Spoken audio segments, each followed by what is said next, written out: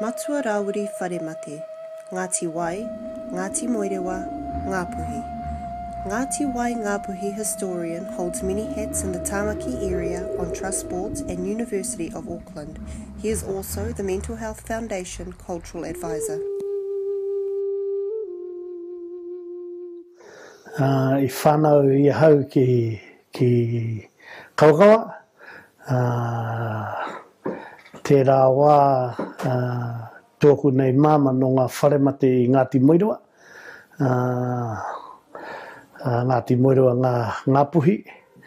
Uh, tōku nei pāpā uh, te oke mohi wepiha no ngaiterangi. Uh, I marana rāwa nā ka puta mai i hau. Uh, e rangi ki te taho tōku karangi māno Ngāti Wai, uh, ki Great Barrier.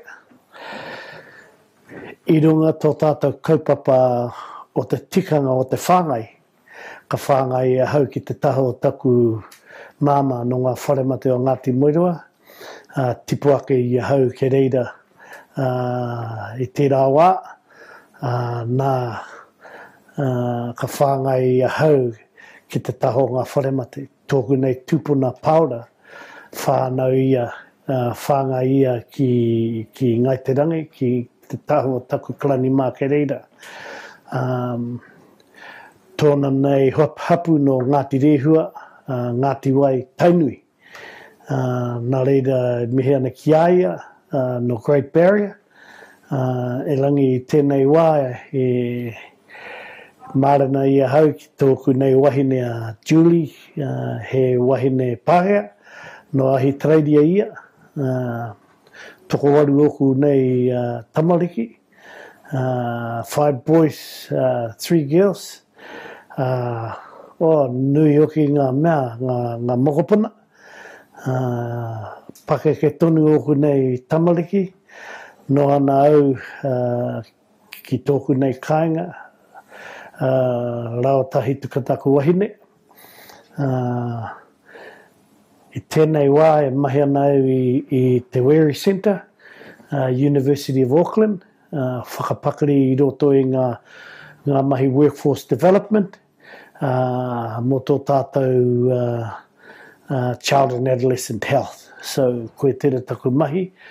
Uh, mahi ana au e cultural advisor ki uh, Mental Health Foundation. Uh, I runga te poari o ngā Youth Horizons, uh, nine years there. So, uh, you know, ki pai hoki o kunei mahi uh, i roto i te haora, uh, ki te pakari tonu ngā, ngā huarahi tika mō ngā rangatahi me ngā tamariki.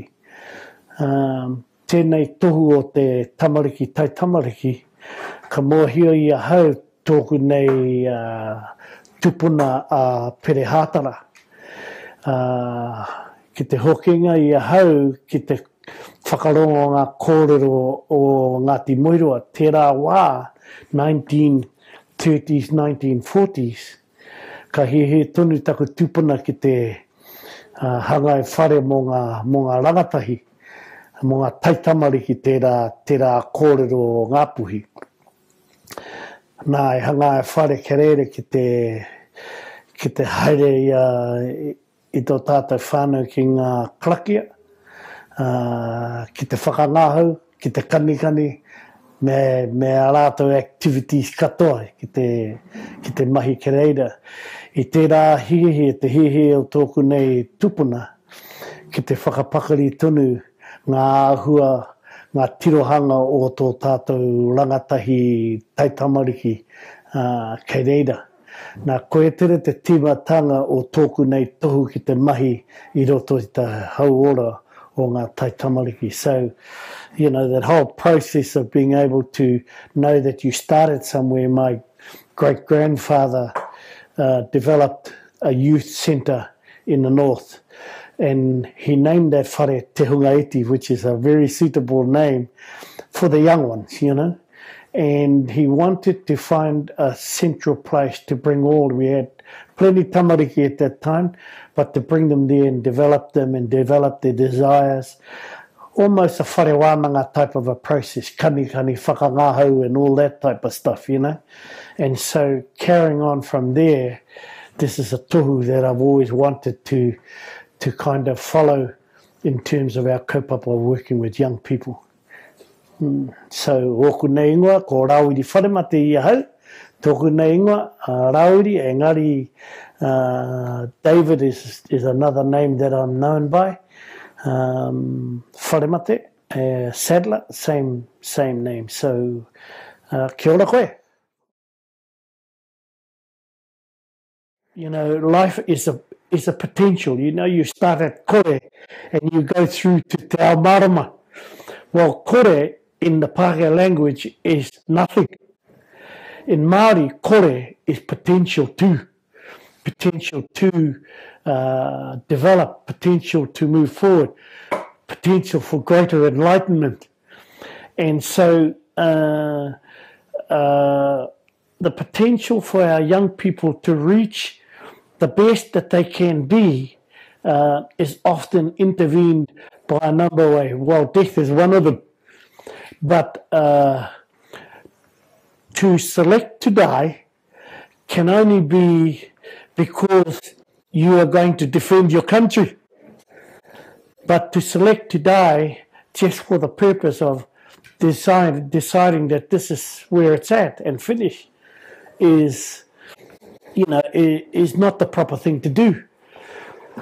Uh, because what it does, it leaves uh, an aftermath of a whole lot of um, of hurt, mamai, and probably a lot of unresolved questions about why is it that my mokopuna, why is it that my young person, why is it that my 44 year old son committed this whakamomori?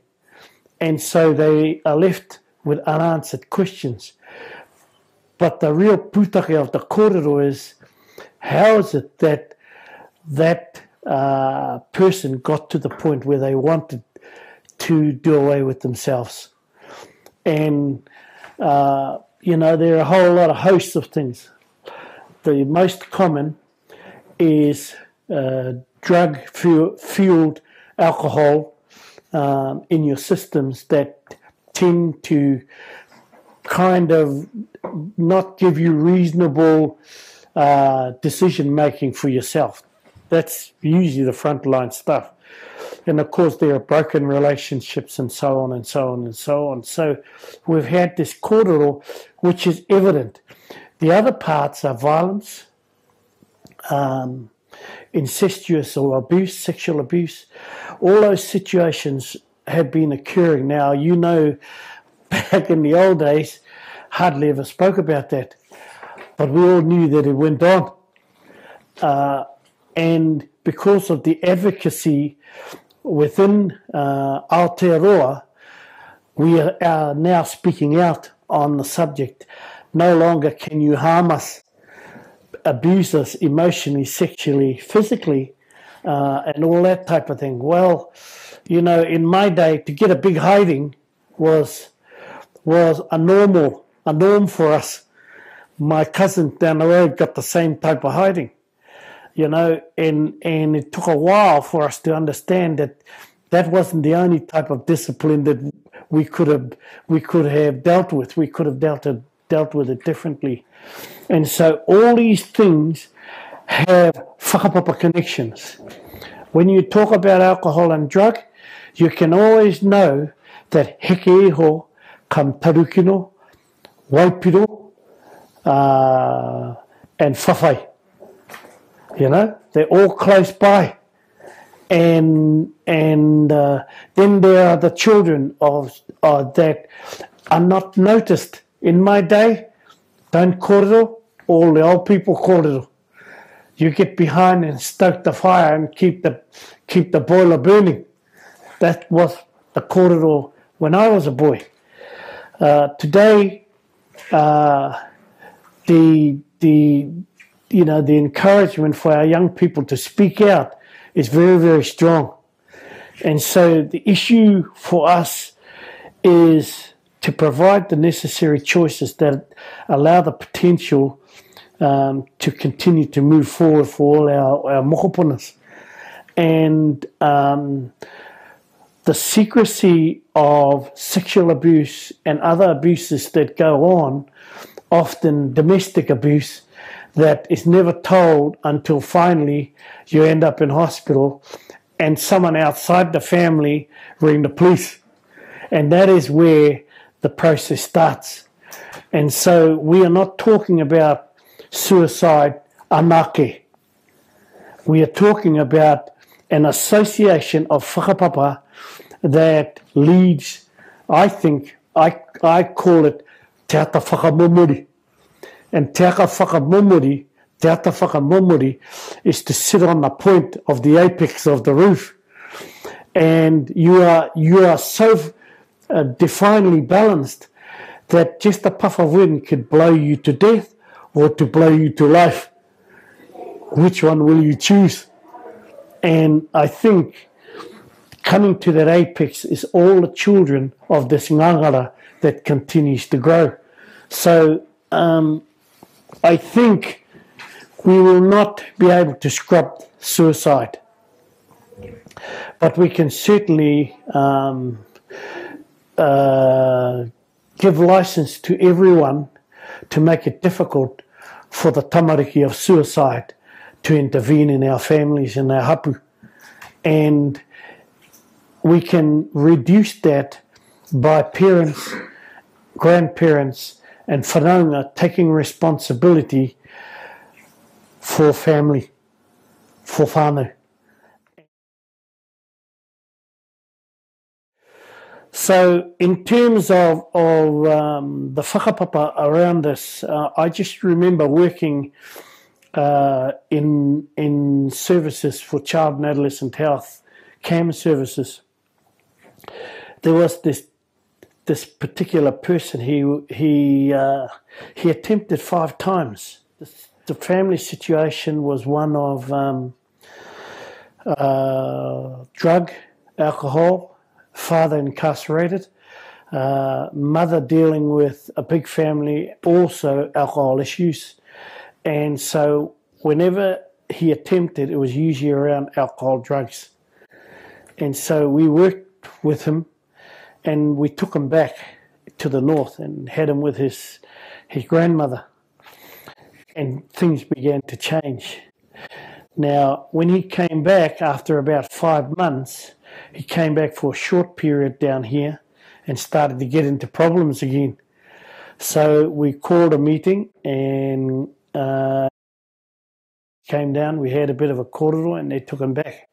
He stayed with his grandmother. He ended up as a education advocate. Now, that is over a period of five years. That that korero I'm talking about is, you know, it's brief in, in my my uh, commentary, but it took five years to get him to a place where he felt uh, that he had some constructive place in society for himself. But all of those issues were done because we had a good kaumata who uh, who recommended that uh, wisdom from the old people might be worth a shot. Um, his family situation was in dire straits, no father in the family. Um, the whakapapa of their family was drugs, alcohol, jail. And so his ability to be able to bounce back from a very, very dire situation was impossible without the support and help of whānau. So when came down, I expected that there would be a social worker and maybe one other, but he brought they brought the whānau with him, with him, with him, and and uh, we had a dialogue, and you know it was all up to him. And he said, "Would you like to go back and stay with your grandfather, grandmother?" And he said, "Yes." So he went he went home and stayed, and did some great things, um, not without incident uh, but certainly uh, his his grandmother had a significant wider influence on him, and had moved him, you know, with the help of iwi services, uh, Ngāpuhi iwi services who supported them in certain aspects, I, I guess in work, in kura, in um, socialising a lot better, in supporting the grandmother to, to, you know, to work with the boy as well. And so um, that is probably an example of a kaumatua intervention, one. The second one is uh, an example that somebody has to maintain hope. And so, an example of two providers coming together one mainstream, one iwi services. The third part is when we hui that we brought him and his mother, in fact, and the grandmother and other relatives, uncles and aunties actually came down and hui together. And we we made a decision and he went north um, and was able to to move uh, to to a, a, good place for himself. So I haven't seen him for years. I don't know what he's doing. All I know is that that's probably one example of the early developments of what took place uh, for for uh, iwi hapu and that type of thing. You know, my mother, she was a student of the New Testament. Mutu te, te, te mahi miraka kau. We finish, we go back, we have a kai, and then we sit by the fire and rub our mother's feet, us as children. And then she would read the New Testament in Māori to us and, uh, and loved it. And she was the epitome of all that was good about what she read. And so those those teachings went for two to three hours. Most of the time, I slept on my mother's feet because, you know, I get tired. I get tired, but the the hum of that beautiful voice is still ringing in my ears, you know, and it's been 30, 30, 40 years since my mother has gone. But I still remember that hum, and it's a beautiful hum of her voice. But we slept on her legs, and she would then uh, go to bed, and we go to bed, and we're up at four o'clock, and we do it all again, and come back at night. Well, is it a reality that our parents are doing that to our children. Our grandparents are doing that for our children now.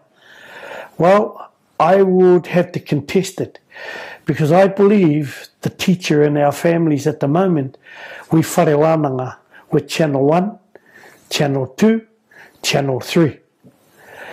And I, I, I wharewananga with Māori TV because that's my favorite channel.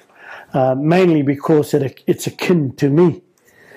So, where are our teachers? All our people are moving to the other world at such a rate, unprecedented right now. So, what we have is this incredible um, space of nothing, no knowledge, no tikanga, no kōrero, no systems of learning other than hare koe ki te wānanga i roto i tamaki makaurau, i roto i te wānanga o Aotearoa, me a rāta katoa. Not that it's not a bad thing because I'm an advocate of education, but to really know um, and get support around these issues, it starts in the home. Why? Ko te pūtake, he wainganui Mō ngā tangata o te ao, no te whānau. The most important unit in this world is the family unit. And it is there that all the, the subtleties and nuance, nuances of, of language, of feeling, of emotion, of tradition sits in the family. And uh, I, I function in my family the way my parents taught me. And uh, uh, there are things like the death of the two wives of Patuone who took their lives and went across the other side.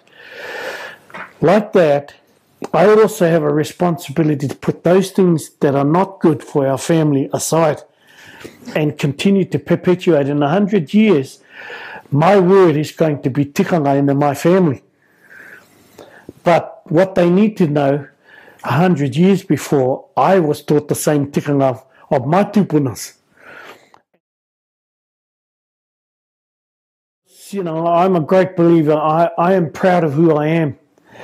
And uh, the older I get, the more appreciative I become of who I really am. And, and um, I am so appreciative of my, my parents who taught me as a, as a child right through. Um, and uh, it is amazing, but they say that the older you get, you start to lose your memory. Well, that hasn't been my experience in my 50s and 60s. What it has is that you, you are blessed with a wairua. And I know when I say things, I remember some of the things that my father said to me, or I heard him say in Tangi. And then, uh, oh boy, what a beautiful jewel. And so these things are still available. So, yes, it is that resilience is such an important part because really resilience is, is that these traditions will endure through the greatest stresses that life will ever bring you, even to te whakamomori. That you can look back on these traditions and lean on them. E whakawhirina ki koe, i runga ngā tikanga me ngā kawa. And know that uh, as stressed as you've been bent over, backwards or forwards, that you have the power to straighten it up with your traditions and with the gifts that you've been blessed with. You know, there's this quarter that goes, uh. And karangatapu mokai is a, a kororo around people who have been brought, born with special gifts. There's those who can kororo, there's those who can waiata and develop waiata, haka. Uh, there are people who are great in the Pākehā world, uh, researchers. There are people that know how to do gardens like you never do gardens, and all these things. So each of us are born with a karangatapu mokai and it naturally is a part of us. But when we get into a family now, for our family of 14, if you have a look, some of them are good at certain things, but collectively, that should make up and arm your family for all that you will face the forces of good and the forces of not good. And that those traditions, uh, however the wind brings you, that you have the power to to to relinquish you're really what I call your mana because what happens is when you're stressed out when you're stressed out what you've got to do is be able to pull yourself back. And that is your karangatapu mokai and your mana that brings you back to where you should be. Your mauri your, you know all those enactments of the tikanga that makes you who you really are